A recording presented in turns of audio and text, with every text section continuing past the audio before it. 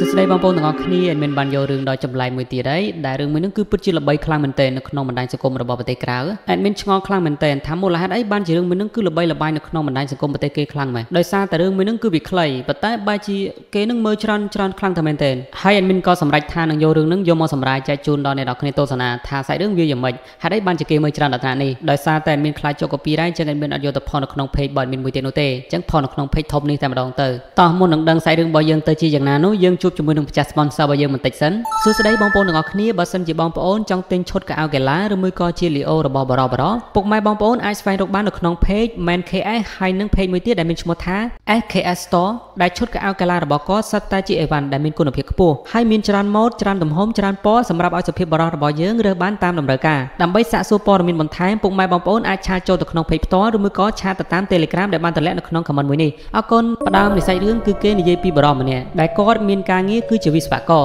ហើយបរិម្នាក់នេះក៏មានប្រពន្ធហើយដែរដែលគាត់នៅខាងស្រុកផ្សេងហើយយើងក៏ទៅតែដឹងថាគាត់គឺមានការងារដែលត្រូវមកត្រួតពិនិត្យក្នុងតំបន់មួយនេះបន្ទាប់មកជួនជាចៃដន្យអីក៏មានភ្លៀងគាត់ក៏បានរកផ្ទះសំណាក់ដើម្បីស្នាក់នៅមួយយប់សិនហើយគាត់តែងតែទេប្រាប់ទៅកាន់ប្រពន្ធរបស់គាត់នៅឯផ្ទះផងដែរថាគាត់នឹងដល់ណាដល់ណីហើយហើយសុខទុក្ខយ៉ាងម៉េចដែរអីចឹងណាបន្ទាប់ពីនិយាយជាមួយនឹងប្រពន្ធរួចមកគាត់ក៏បានដើររកផ្ទះសំណាក់ដើម្បីស្នាក់នៅដោយសារតែមេឃនឹងកំពុងតែភ្លៀងផងអីផងចឹងគាត់អត់មានជំរឿនោះទេគាត់ត្រូវតែបញ្ញាប់រកផ្ទះដើម្បីស្នាក់នៅកំពុងតែដើររកផ្ទះសំណាក់ដើម្បីស្នាក់នៅនោះក៏ស្រាប់តែ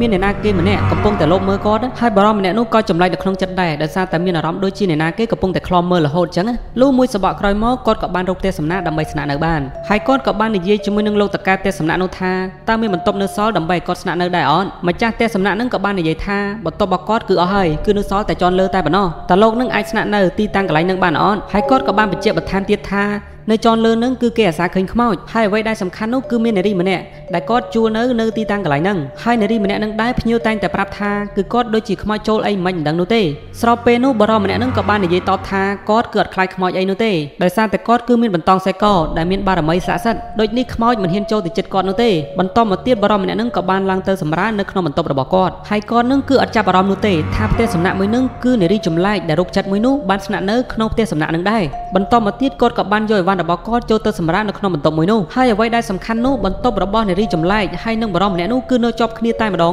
ងាកមកមើលពីបរមម្នាក់នេះវិញដោយសារតែអស់កម្លាំងផងគាត់ក៏បានចូលសម្រាប់បាត់ទៅចូលសម្រាប់មិនទាន់បានប្រមាណផងក៏ស្រាប់តែនារីរោគចិត្តម្នាក់នោះគាត់ក៏បានផ្លោះបង្អួចចូលទៅក្នុងបន្ទប់របស់បរមម្នាក់នោះនិយាយទៅគឺចែកអ្នកនរគ្នាដោយសារតែផ្ទះមួយនឹងគឺមានអាកន្លែងថាដូចវេរ៉ង់ដាមួយហើយយើងអាចចាញ់ពីបន្ទប់របស់យើងឆ្លងទៅបន្ទប់ផ្សេងមួយទៀតបានណាអ្នកនរគ្នាពេលដែលចូលបានទៅក្នុងបន្ទប់បរមម្នាក់នឹងដែរនារីម្នាក់នឹងគាត់ក៏បានចូលទៅដេកក្បែរបរមម្នាក់នោះតែម្ដងស្របពេលនោះបរិមម្នាក់នឹងគាត់ក៏បានភ្ញាក់តែម្ដង ហើយក៏បានក្រោកមកភ្លាមដំបងឡើយបរិមម្នាក់នឹងគាត់ស្មានថានារីម្នាក់នឹងគឺជាខ្មោចតើហើយគាត់ក៏បានធ្វើជានិយាយបន្លប់ទៅកាន់នារីម្នាក់នោះគាត់អត់ដឹងទេថានារីម្នាក់នឹងគឺជាមនុស្សនោះទេហើយនារីរុកចិត្តម្នាក់នោះគាត់ក៏បានហៅទៅកាន់បរិមម្នាក់នោះថាអេលេណាដែលគាត់គឺមិនស្គាល់ឈ្មោះបរិមម្នាក់នឹងតតែសោះប៉ុន្តែគាត់បែរជាហៅថាអេលេណាទៅវិញបន្ទាប់ពីនិយាយគ្នាបានបន្តិចនោះនារីម្នាក់នឹងក៏បានរត់ទៅអោបបរិមម្នាក់នោះហើយក៏បាននិយាយថាខ្ញុំស្រឡាញ់អ្នកហើយបរិមម្នាក់នោះក៏បានកវានារីម្នាក់នឹងដួលបាត់ទៅបន្ទាប់មកបរិមម្នាក់នឹងក៏បានទៅទិញដៃនារីម្នាក់នោះឲ្យក្រោកឡើងវិញហើយគាត់ក៏បាននិយាយថា តើអ្នកនាងគឺជាមនុស្សមែនទេមិនមែនជាខ្មោចទេអីស្របពេលនោះគាត់ក៏បានលេងដៃនារីម្នាក់នោះទៅវិញ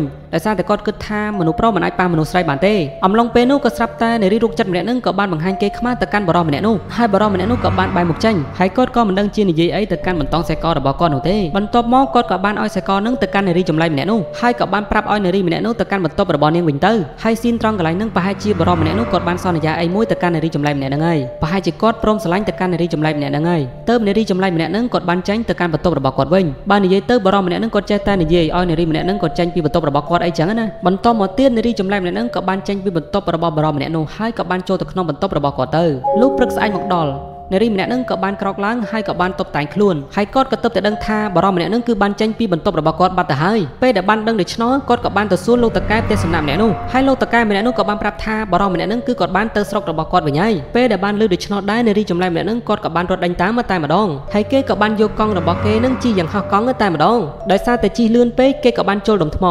ហហើយក៏បានដួលកង់ធ្វើឲ្យភ្នែករបស់គេមានរបួសតែម្ដងហើយគេក៏បានដួលកង់ធ្លាក់ចូលទៅក្នុងទន្លេហើយក៏បានសន្លប់មួយផ្លេតពេលដែលភ្ញាក់មកវិញនោះដែរក៏ស្រាប់តែដូចជាមានព្រលឹងបិសាចអីបានចូលទៅក្នុងខ្លួនរបស់គេហើយនារីចម្លែម្នាក់ហ្នឹងក៏បានងើបឡើងមកហើយក៏បានបន្តដំណើរទៅមុខទៀតងាកមកមើលពីបរិវិស្វករនេះវិញគាត់កំពុងតែនិយាយទូរស័ព្ទទៅកាន់អ្នកទះរបស់គាត់បន្ទាប់មកក៏ស្រាប់តែនារីរោគចិត្តម្នាក់ហ្នឹងក៏បានដើរមកដល់ហើយនារីចម្លែម្នាក់ហ្នឹងក៏បានស្រែកហៅទៅកាន់បរិម្នាក់នោះថាអេលេណាអេលេណាហើយបរិម្នាក់នោះនៅដាណាទៀតគឺគាត់មានតែរត់តែម្ដងទៅអំឡុងពេលនោះគាត់ក៏បានរត់ឡើងទៅកាន់ទូករបស់គាត់ហើយគាត់ក៏បានខ្សឹបប្រាប់ទៅកាន់ពូសន្តិសុខនោះថាកុំឲ្យនារីចម្លែម្នាក់ហ្នឹងទៅតាមគាត់អីបន្ទាប់មកនារីម្នាក់ហ្នឹងក៏បានតាមមកដល់ហើយពូសន្តិសុខក៏បានហាមឃាត់គេតែម្ដងបន្តមកទៀតបរិម្នាក់ហ្នឹងគាត់ក៏បានចេញទូកទៅបាត់ទៅចំណែកឯនារីរុកចិត្តម្នាក់ហ្នឹងដែរក៏បានស្រែកហៅឲ្យបរមម្នាក់នឹងវិលត្រឡប់មកវិញបន្តមកទៀតក៏ស្រាប់តែនារីចម្លែកម្នាក់នឹងក៏បានបដិសេធកលដែលបរមម្នាក់នឹងបានឲ្យហើយក៏បានលោតហក់ចូលទៅក្នុងទឹកទន្លេនឹងបាត់ទៅគោលបំណងរបស់នាងគឺទៅតាមបរមម្នាក់នឹងនឹងឯងបន្ទាប់មកនាងក៏បានហែលទឹកទៅតាមបរមម្នាក់នោះហែលមិនទាន់បានប្រមាណផងនាងក៏បានលងទឹកស្លាប់បាត់ទៅ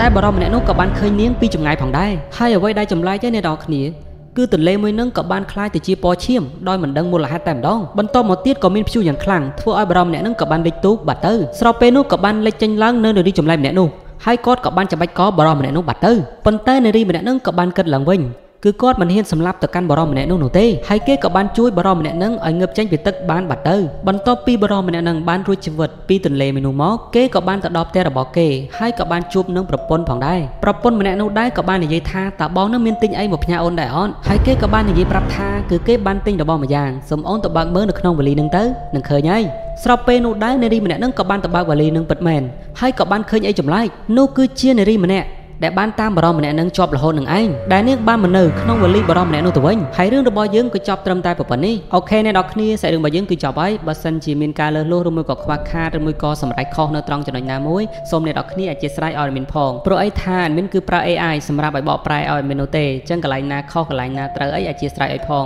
សម្រាប់ AI គឺវាអាចបកប្រែខុសតិចតួចអញ្ចឹងអ្នកនរគ្នាអាចថាត្រូវ97%ខុស3%ខុសតិចតួចអ្នកនរគ្នាប៉ុន្តែគឺអាចស្ដាប់ហើយនឹងយល់ពីអត្ថន័យនៅក្នុងរឿងនឹងបានអូខេ admin មានតែប៉ុណ្្នឹងទេអរគុណបាយបាយយើងនឹងជួបគ្នានៅវីដេអូក្រោយបន្តទៀត